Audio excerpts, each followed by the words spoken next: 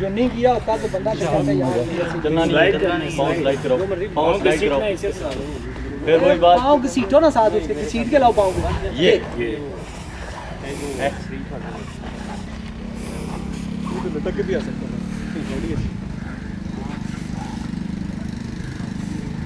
देखिए कौन आएगा अब।